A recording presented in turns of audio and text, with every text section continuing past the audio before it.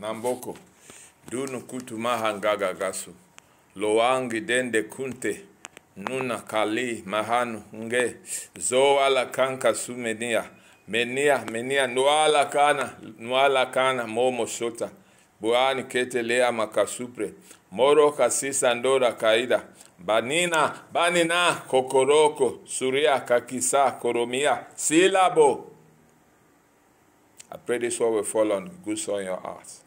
It will produce not a 30 nor a a hundredfold. This word you hear with me with faith.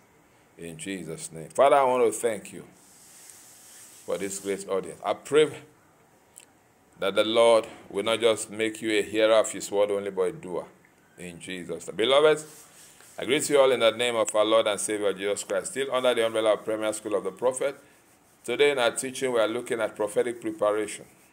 I repeat we are looking at prophetic preparation. I, I, think in Luke 1, somewhere the Bible says to make ready people prepare for the Lord.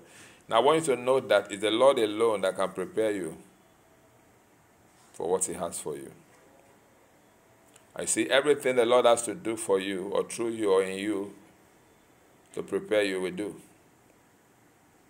Sometimes the Lord can make you hunger, you know that hungry. It's part of the plan. Sometimes the Lord can make you thirsty. Sometimes the Lord can take you through trials and tribulation. All is just to prepare you. You see, preparation time is never a wasted time. The Lord always prepare anybody he uses. If God is preparing you, for instance, Joseph was taken through the pit through Potiphar's house and through the prison before he became the prime minister. The prophetic preparation is when the Lord prepares you for what he's preparing for you. When God is preparing you to use you for his purpose, for his glory, in a particular place, in a particular position, in a particular way, or in a prophetic place, in a prophetic position, in a prophetic way. I pray. Nana! That the Lord Himself will prepare you. The Lord Himself will instruct you on how to go about this preparation. Jesus was told to fast 40 days and 40 nights by the Holy Spirit. He was led. Fasting and prayer can be part of your preparation. Trials and tribulation can be part of your preparation. Just name it. The Lord will always prepare His own.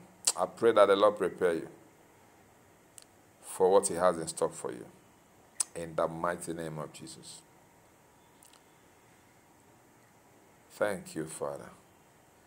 Because it is written that Jephthah became mighty because he prepared his way before the Lord. Ah, I pray you prepare your way before the Lord. The Lord grants you grace to prepare your way before the Lord in adhering to his instruction, to his leading, in order to prepare you, in order for you to become mighty. In Jesus' name, amen.